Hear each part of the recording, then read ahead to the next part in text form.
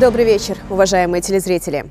Ничто не стоит на месте, мир меняется стремительными темпами. Успеть за переменами, ничего не упустить – задача непростая, но выполнение которой гарантирует успех всего народа.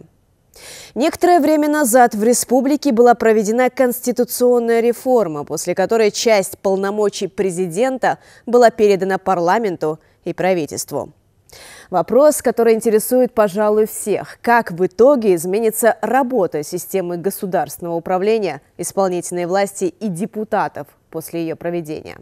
Депутатский корпус формирует правительство, правительство отчитывается перед депутатами, а депутаты перед народом. Значит, согласно тому же Конституции, власть кому принадлежит? Там написано единственным э, так бы источником власти является власть народа. Значит, каждому из нас, я теперь думаю, что и депутатов, и э, Акимов ответственность перед нами увеличится. Но на кого-то возлагается не просто ответственность, большие ответственности.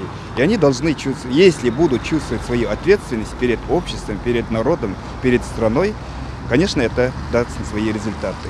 В зависимости, кто как поймет эту ответственность. Депутаты будут наделены определенными полномочиями для того, чтобы более усердно контролировать правительство, что требует от них политической мудрости, профессионализма, без популизма, скажем так, реально контролировать те процессы, которые они были наделены.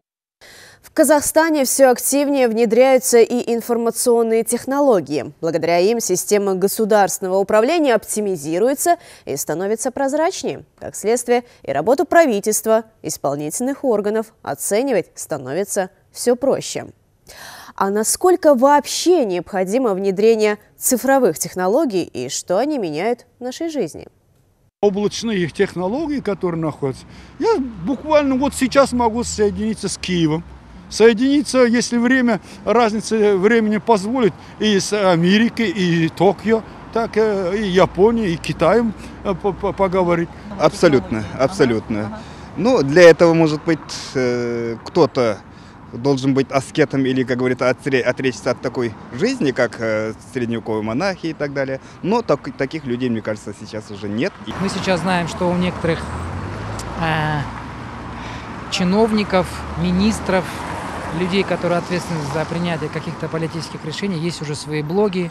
Вы знаете, во многих э, интернет-сайтах уже есть отдельные рубрики, которые так и называются «Достучаться до власти». Поэтому я думаю, с ростом и политического сознания роль информационных технологий будет расти. И власть должна адекватно реагировать на те ожидания, которые идут снизу. Если учесть из послания, последнего послания главы государства, э, то есть э, по третьей модернизации, там есть э, обозначены в приоритетах, э, там конкретно четко, ясно написано, что э, сейчас э, наибольшую, наибольшее значение имеет именно информационным технологиям. То есть здесь, э, можно сказать, IT-технологии. Что ж, как видится, без нововведений сегодня действительно никуда. Новые задачи накладывают на законодательные исполнительные органы особую ответственность, потому что нам сейчас придется решать совершенно новые задачи, которые мы доселе не делали.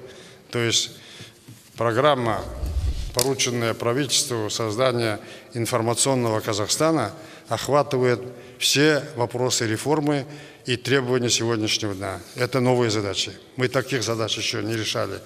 Сложные задачи, требующие больших финансовых вложений и ресурсов, но у нас другого хода нет. Надо это делать. И делать успешно. Уверен, что расширение полномочий парламента, правительства послужит более эффективному достижению цели третьей модернизации экономики страны. Казахстанское общество на пути к новым вершинам, достичь которых удастся во многом благодаря проведению своевременных и актуальных реформ. Дорогу осилит идущий. А прямо сейчас не пропустите итоги дня, целеустремленности вам и упорства в достижении поставленных целей.